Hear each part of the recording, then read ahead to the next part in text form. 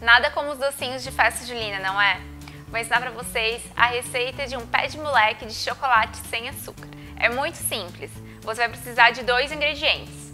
Um chocolate saudável, aqui eu estou utilizando Chocolifit, e uma xícara de amendoim torrado sem sal e sem casca. Primeiro, eu vou derreter 200 gramas de chocolate no micro-ondas, mas você pode fazer em banho-maria.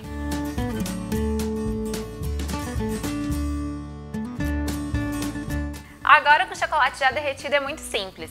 É só colocar o amendoim na forma de silicone, espalhar bem e por cima despejar o chocolate. Agora é só colocar o nosso pé de moleque no freezer e esperar mais ou menos uns 20 minutos.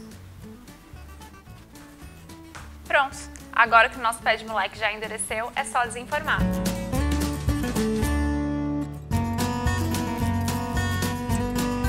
E é isso, o nosso pé de moleque está pronto. Se você gostou dessa receita, se inscreve no nosso canal para ver mais.